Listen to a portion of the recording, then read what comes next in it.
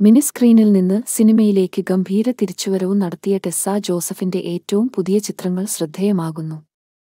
ജിസ് ജോയി സംവിധാനം ചെയ്ത തലവൻ എന്ന ചിത്രത്തിലൂടെ ബിഗ് സ്ക്രീനിലേക്ക് തിരികെ എത്തിയ ടെസ് ആ ചിത്രത്തിന്റെ വിജയാഘോഷവേളയിൽ എത്തിയപ്പോഴുള്ള ചിത്രങ്ങളാണ് ആരാധകർ ഏറ്റെടുത്തത്.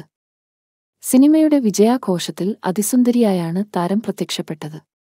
കറുത്ത സാരിയിൽ മനോഹരിയായി കാണപ്പെട്ട നടിയുടെ ചിത്രങ്ങളും വീഡിയോയും ആരാധകരും ഏറ്റെടുത്തു.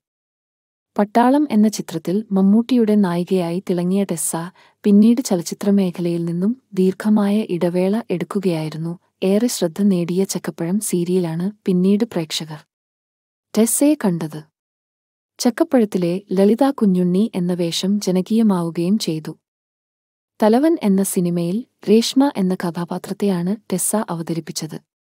ചിത്രത്തിലെ നടിയുടെ പ്രകടനം ശ്രദ്ധേയമായതോടെ നിരവധി അവസരങ്ങളും തേടിയെത്തുന്നുണ്ട്. സിനിമയിൽ നല്ല വേഷങ്ങൾ വന്നാൽ തുടർന്ന് അഭിനയിക്കാനാണ് ടെസ്സയുടെ തീരുമാനം. ടെസ്സയുടെ ഭർത്താവും കുട്ടികളും അബുദാബിയിലാണ് താമസം. മാതാപിതാക്കൾ കൊച്ചിയിലും. പ്രൊജക്ടുകൾ വരുമ്പോൾ നാട്ടിലേക്ക് വരികയാണ് ടെസ്സയുടെ പതിവ്.